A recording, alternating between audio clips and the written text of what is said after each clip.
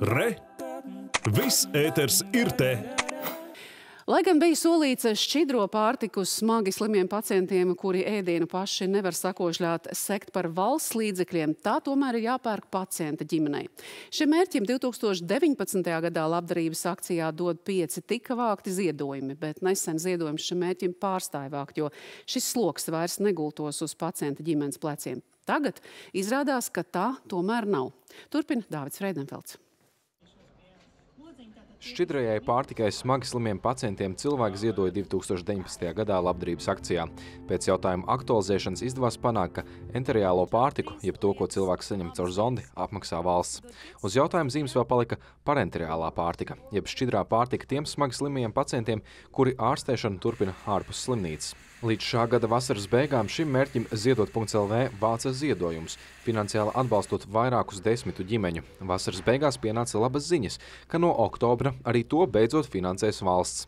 Tā gan nebija patiesība.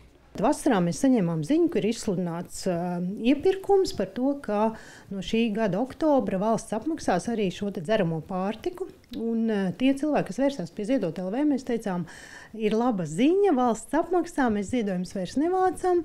Un bija arī tādi cilvēki, kurši teica, ah, ja mēnesis ir jāpagaida, mēs paši samaksāsim, un tā arī nekad pie mums neatnāca. Šķidrā pārtika pacientam mēnesī izmaksā no 200 līdz 300 eiro. Veselības ministrijā norāda, ka nav bijis solījumu no oktobra sektora to par valsts naudu. Mēs nevienā brīdī neesam teikuši, kamēr mums nav apstiprināts budžets, ka šis pakalpojums būs ambulatoriem pacientiem pieejams. Latvijas televīzijai zināms, ka bijis konkurss un ir noslēgts līgums ar uzņēmumu par valsts finansētu šķidrās pārtiks nodrošināšanu pacientiem no oktobra.